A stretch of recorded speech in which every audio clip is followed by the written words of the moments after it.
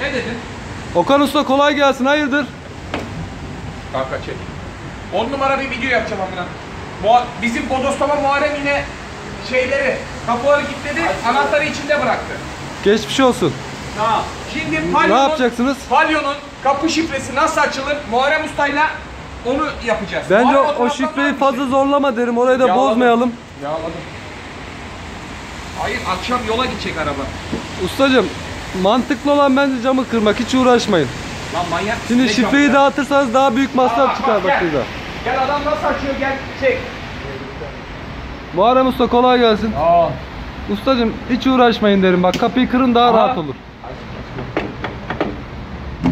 Ver bakayım lan şunu. Valla Muharrem şaka maka var ya sinirlendim ha yemin ederim. Getir çekici arka cam. Camı kırın ustalar en güzeli. Kırarsan parasını da sen yapar. Vereceğim veririz. Çekiçle mi kıracaksın? Çekiçle. Hangisini kıracaksın? Bunu. Ustacım o zevki Oğlum bana bıraksanız. Fiyat yazıyor lan o camların. Hepsinde fiyat yazıyor. Allah mı? Arabanın orijinalliği bozulmasın. Ben Abi gerçekten camı mı kıracaksınız ya? Ben şaka söylemiştim. Ananı Aha. Oha. Ustaların şakası yok abi camı kırdılar. Oğlum ben ciddi ciddi camı kırdım.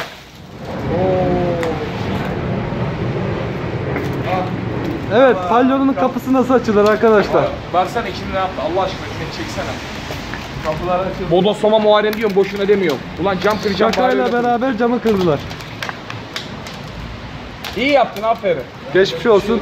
Ara Cengiz abi. Parasını verin mi? Arayın Cengiz abi. Yıkama parası da çıktı sana cam parası.